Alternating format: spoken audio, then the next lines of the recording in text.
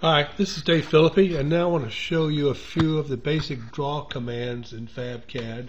We're going to go over the line command, the rectangle command, the arc command, and the circle command. So we'll start with the line command. I'll click that, and at the command line it says specify first point.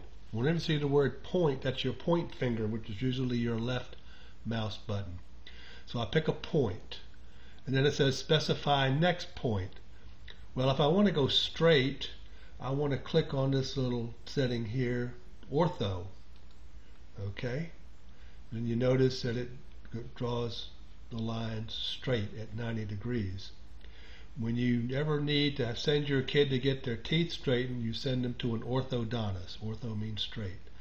The other thing I want to turn on is this dynamic mode here, which will come in handy particularly when we're doing rectangles. So as you notice, you see at the cursor the length is being displayed there, but I don't need to do it manually. I can just type in how long I want this. So say I want to make this line 56 inches long. I hit F56 and then hit enter or right click on my mouse and that line is 56 inches long. And then I change the direction of the mouse to which way I want to go and say I want to make it 50 inches here. So type in 50 and enter and then I right click and I'm done. Okay? So now, if I want to draw a line on an angle, I go to the line command and at this point I will turn off ortho and I'll pick a point and then I'll make sure that the dynamic input is on and I just type in the length. So I say I type in 88 and hit the tab key and then I type in the degrees. So I'll say 36 and hit enter and hit enter again. So that line is 88 inches long at 36 degrees. Let's check it. So I'm going to go to these dimension commands. I'm going to do a line, right click, pick this line here, and 88, 7 foot 4. Okay, I'm going to draw a line from the end point here. I'm going to put ortho back on, and I'm going to check the angle. So I just go over here and I go angular and I'll pick this line here and this line here. And it's 36 degrees. So it drew it just the way I wanted to. Now, to do a rectangle, I'll click on that and pick a point. There's a couple of ways of getting the, the size of a rectangle. I can click dimensions down here and then it says specify the length of the rectangle. So I'm going to specify, say 45 and hit enter. And then it says specify the width and I'll say 60. Okay, and then I just hit enter.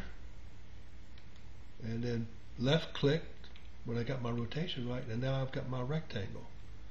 I can also draw a rectangle using dynamic input and type in, you see at the point where it says 1 foot 9, I can type in say 45, hit the tab key, and I get a second dimension input here, and I'll say 78 and hit enter. Okay, so the width is first and the height is second. So let's check that. 45 by 6 foot 6, which is 78.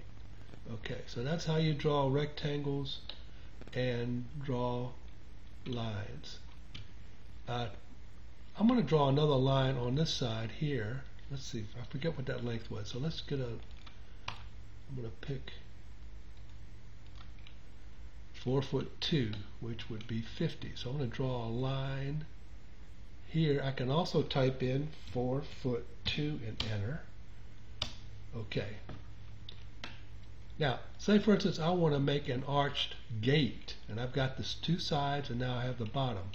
And I want the arch to be a foot taller than the lines on the side. I could draw a line, and I've turned on my snap mode here. And what this is, I have automatically, I've checked different snaps that I want to automatically pop up when I'm near this near near the air. So if you at the end point or the midpoint, you notice that these different snaps pop up. You can also go up to the top here and pick the snap from here.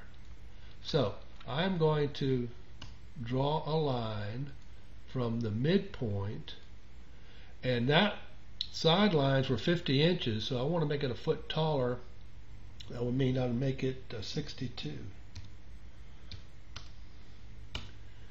and then I go if I want to make the arc I'll draw an arc from the end point here to the end point there to the end point there.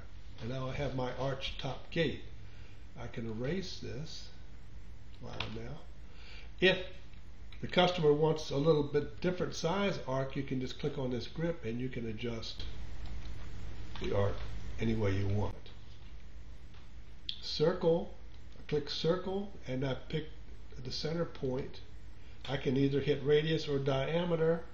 So say if I want to hit D for diameter, I type in the diameter of the circle, say it's 36 inches in diameter.